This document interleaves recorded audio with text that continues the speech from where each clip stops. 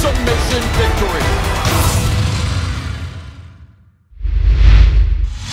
Body triangle trying to sit up, having no success versus Gracie. Backwards punch from Flynn. Gracie controlling the arms, controlling the wrist, again looking rear naked choke.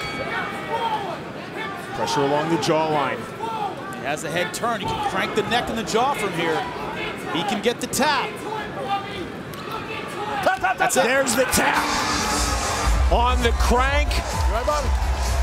And that is a cool, clinical victory in his Bellator debut for Neiman Gracie. We got here body triangle. Bobby Flynn sat up. Couldn't see from the position we were in how deep it was. I think it stayed on this neck crank. It seems across the jaw, the head is twisted. That is extremely painful. Right there. I don't think it slid underneath the, the jaw. I think it stayed in neck crank. Look at the back position. The hip pressure, so much crank on the neck of Bobby Flynn. No choice but to tap himself. But Neiman Gracie doesn't rush it. He'll stay in that position, work for the submission over and over and over again, but he doesn't rush. Nice armbar transition. He might have it. Now Rudy Bears. He tapped. He tapped. It snapped. Saw it pat, pop backwards. That's why there was a delay there. And from here on out, Rudy Bears in a defensive mode. Look at this step over to the armbar. Boom. Beautiful stuff. Straightens the arm. Now look, as he tries to pull out, his arm pops. Right there. And he taps right there.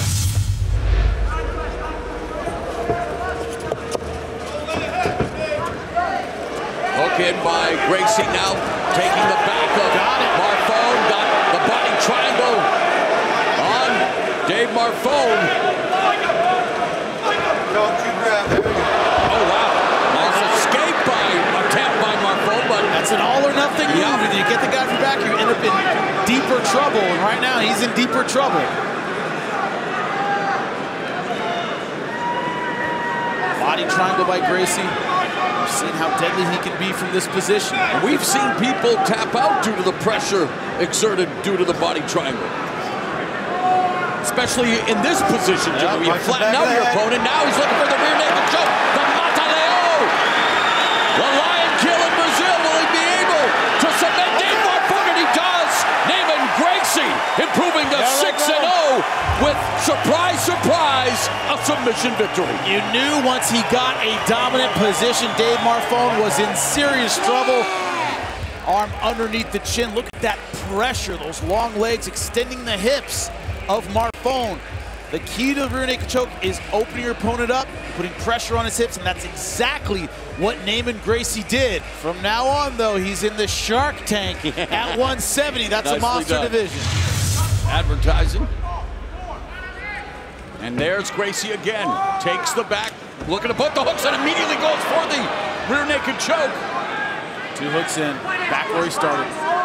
How do you defend this, Jimmy? Don't get in it. I mean, I mean, is there any, I agree, I understand, but I mean, I know that any- that's genius commentary, but it's But so hard it's once you're in this position. Now, what are you worried about? Yeah. You're worried about your neck. You're worried about the choke. But man, can you have a body like, especially when someone has legs like Neiman Gracie? Mm. What he wants to do is put his the flat of his back on the ground, turn toward Neiman Gracie. You risk giving up mount, but that's the only way out of this position. Kind of scrape Neiman off of his back, but Yeah, well said. easier said than done. Yeah. so much easier said than done. The problem that he's getting into this is his, his tendency to defend the takedown by turning his body. That gives Neiman Gracie his back.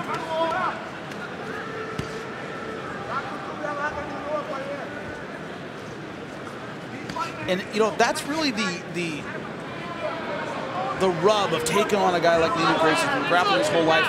Oh, What's the advice in between corners if you don't already know how to deal with this? He's got him in the neck and and that's it. More of a neck crank than a rear naked choke, but it's a submission. And much to the delight of Royce Gracie, Neiman Gracie improves to 7 and oh. 0. Look at it here. Rather than go for a choke that he hadn't been able to get before, he stays on the chin and cranks it to the right. Look at the torque on the neck. Brutal stuff by Neiman Gracie, but a technical change. He turns his entire body to get the neck crank because he didn't want to waste any more time looking for the rear naked choke. Bruce should turn over so he is not belly down on the ground with that body triangle. This is a better position for him. And Gracie looking for that Mataleon, the line kill, that rear naked choke, but hand grappling by Ruth, but and you know he can do it lightning fast. He can. He should switch that right now that that's up. Keep the body triangle the way it is. Just work your hands. But Neiman Gracie in this position, like you said before, Mauro, loves a neck crank. He will bring that arm across the face and start to twist. And we talked about it, it during the prelims. The reason being because of MMA gloves. He feels. Oh, there it is! There it is! Taps. Neiman Gracie wins again via submission. Mount. Watch Ed Wow. try to turn. You see him let him rotate right in between his legs. He's got that body triangle set up, and he slowly, systematically starts to break him down. Ed did the right thing in trying to move the position so he wasn't belly down. But look at when you got a guy that is as good with submission and as good with that choke as Neiman Gracie is, it's only a matter of time before you make the mistake that lets him get his arm around your neck. The pressure is there, and there's nothing you can do. Just keep applying that pressure till the position happens. That's what Neiman Gracie's doing. He's not working hard, he's working smart.